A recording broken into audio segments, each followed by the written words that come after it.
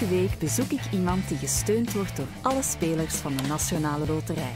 En vandaag ontmoet ik Marit, een topsporter die droomt van een gouden medaille. Amai, dat gaat nogal een gang. Dit is baanwielrennen zeker. Ja, Dus dat is anders dan op de weg. uh, baanwielrennen is eigenlijk meer een beetje technisch en komt er natuurlijk ook veel tactiek bij te kijken. Je hebt eh, de vele verschillende disciplines en het is natuurlijk ook op een eh, houten ovaal, wat op de weg niet zo is. Maar daar zijn jij ook al geweest. Ja, dat is dan meestal voor eh, de baanronde. Nee, het gaat niet. Het gaat niet. Oké, dus normaal een snel rondje, Marit. Hoeveel gelijk seconden of zo zou dat moeten zijn? Ehm, mijn snelste in wedstrijd, mijn persoonlijk record, is eh 11 seconden en 8. Ik ga klaarstaan.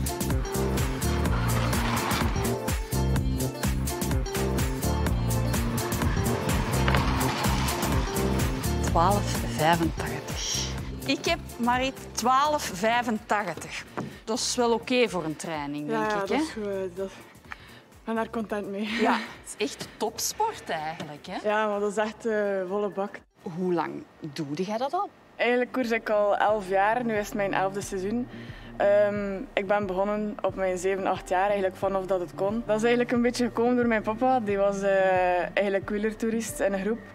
En eh, die ging op elke zondag of in de week een keer eh, met zijn fiets gaan rijden. En zo is dat ook een beetje bij mij binnengekomen. En we daar een beetje proberen in te tonen. En soms is dat ook wel eens gelukt. En heb ik wel een keer een koersje kunnen winnen bij de jongens. Dus dat is ook wel leuk. Echt? Ja. Ah, mega cool. Zeg, en zijn er toffe jongens in het wielrennen? Ja, eh, natuurlijk. Mijn vriend is ook eh, wielrenner. Dus eh, dat is wel mooi. Ook topsporter, heeft ook hier aan de topsportschool gezeten.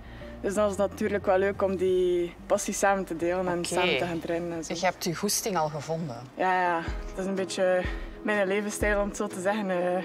Zonder Marit is er geen fiets. En ehm, allee, zonder fietsen is er geen Marit. Dus Hoe word je dan ondersteund? Ehm, momenteel word ik eh, vanuit de topsportschool begeleid om ehm, ja, eigenlijk ge- gezond te groeien in de koers. En dan ook natuurlijk via het Big Gold project. Dat wordt gesteund vanuit de Nationale Loterij.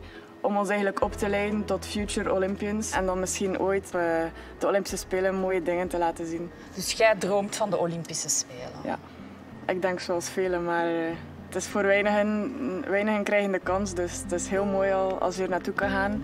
En als je dan nog eens eh, een medaille kan halen, dan vergeet je al de trainingen en eh, het lastige werk dat je ervoor hebt moeten doen. Oké, dus ik zie u binnen drie jaar in Parijs. Ik hoop van wel en dat is ook waar we voor werken natuurlijk. Dus. Ja, we gaan daarvoor duimen, hè? Ah ja.